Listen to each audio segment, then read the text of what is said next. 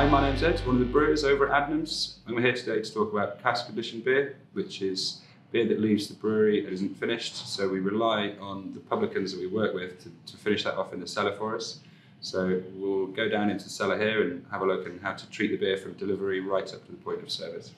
So it's now 24 hours after the beer's been delivered. Uh, the temperature's um, about 12 degrees now.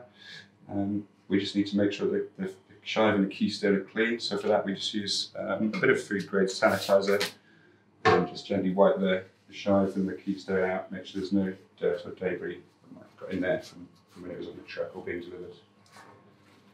So now we just need to um, get the yeast that's been settled in the bottom of the cask back up into suspension. Just to, uh, so we just roll around gently, um, and that will allow the yeast to fully digest all the sugars and get the good uh, secondary conditioning that cask is all about.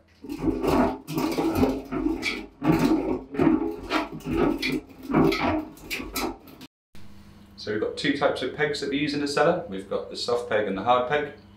We use the soft peg first of all because that allows the excess CO2 to be vented out along with some other off flavours.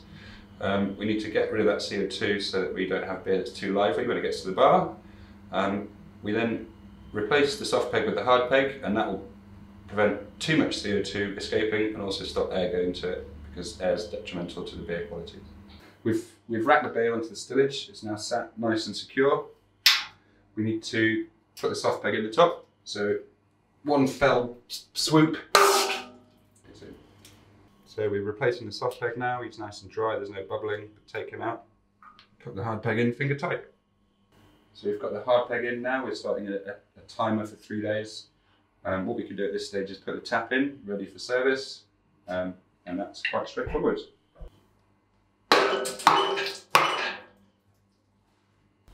So here we've got uh, two beers. One has just been tapped and hasn't matured for three days. You can see it's still got a bit of uh, haze to it, it's still a bit cloudy. This one here is the same beer but three days later. Nice and bright. This I think is ready to be served up at the bar. So it's been three days now. We're ready to serve the beer. We're happy that it's clear and nicely carbonated. So we attach the beer line.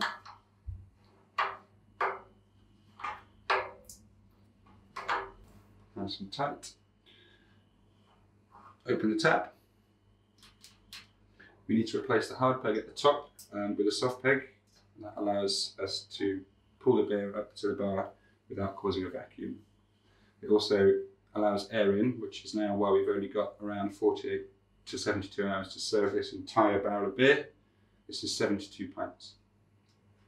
So we're ready now, we've got the beer connected up in the cellar, we've got the tap open, we need to pull it up. So we just take a glass, pump it through the engine, and we should see a beautiful, nicely carbonated, crystal clear pint ale.